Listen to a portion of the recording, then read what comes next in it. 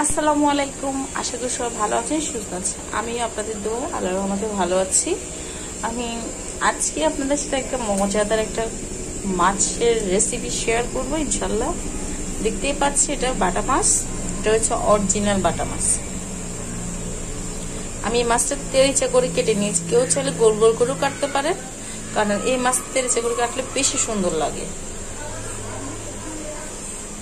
এই মাছটা আমি একটু টমাটো, মাছটা রান্না করতে আমার যা যা উপাদান লাগছে, পেঁয়াজ, টমাটো, ধনিয়া পাতা আর কাঁচামরিচ যা যা লাগে তাই ইনশাল্লাহ আমি আপনাদের সাথে শেয়ার করব। অবশ্যই সবাই ভিডিওটি পুরো দেখবেন, না কেটে।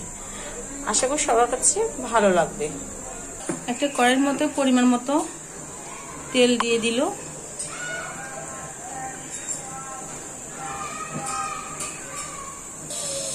কিছুটা সরষের তেল আর কিছুটা সোয়াবিন তেল। একসাথে মিক্স করে গরম হওয়া পর্যন্ত অপেক্ষা করব। তেলটা গরম হয়ে গেছে, এখন এখানে পেঁয়াজ কুচিটা দিয়ে দিল। তারপরে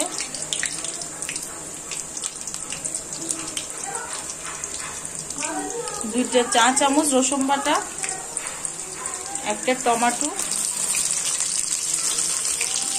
টমেটোটা অপশনাল যাদের যার ভালো লাগে সে দে আর যাদের ভালো না লাগে আপনি নাও দিতে পারেন। স্বাদ মতন লবণ।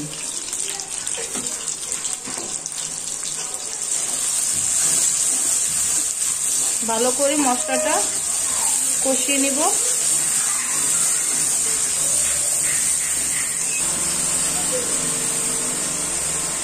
এখানে আরও একটা টমেটো অ্যাড করা হয়েছে।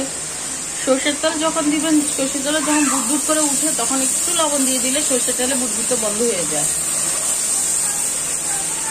এখন এখানে একটু গরম পানি দিয়ে দিচ্ছে। এখানে পরিমাণ মতন হলুদের গুঁড়ো। আসলে রান্নাটা সবসময় একদম পরিমাণ মতো বলা যায় না, যার যার স্বাদ অনুযায়ী আসলে আমরা জিনিসটা ব্যবহার করি। এখানে দু চা চামচ মরিচের গুঁড়ো। যার হলুদের কালার যেরকম, সে ওরকম ভাবে হলুদটা ব্যবহার করতে পারবেন। কারণ আমাদের এখানে হলুদের কালারটা অনেক বেশি ভালো।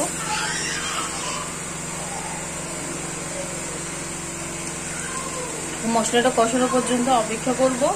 তারপর এখানে মশলা যখন তেলটা উপরে উঠে আসবে, তখন আমি বাটা মাছটা এখানে দিয়ে দিব।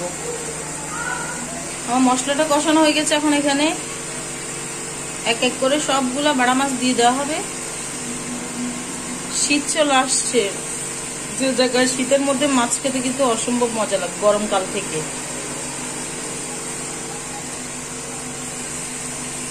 এখানে এক কেজি চারশো গ্রাম বাড়া মাছ। এখন মাছটা সুন্দর করে কষানো পর্যন্ত অপেক্ষা করব। অপেক্ষা করে তারপর এখানে একটু গরম পানি দিয়ে দিব।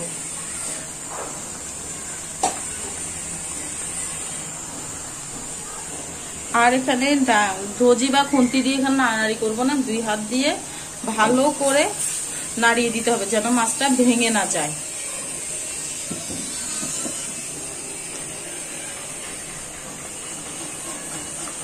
কষানো পর্যন্ত অপেক্ষা করব, তারপর গরম পানি দিয়ে দিব। কি হয়েছে তোমার? কি হয়েছে? তোমার বকা দিছে? দা বকা দিছে? দেখি আম দেখি আম দেখি। এদিকে তাকাও। কিছু মন খারাপ? পরে গরম পানি দিয়ে দিয়েছি।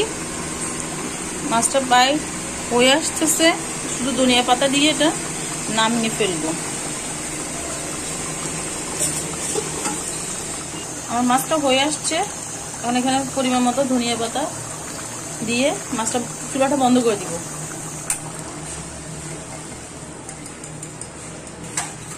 আশা করি সবার কাছে ভালো লাগবে, ভালো লাগলে অবশ্যই এভাবে একবার বাসায় ট্রাই করে দেখবেন। আজকের জন্য এখানে ভিডিওটা শেষ করতে ইনশাল্লাহ নতুন একটি ভিডিও নিয়ে আপনাদের সাথে শেয়ার করব। ভালো থাকবেন, সুস্থ থাকবেন। আল্লাহ হাফেজ। আসসালামু আলাইকুম।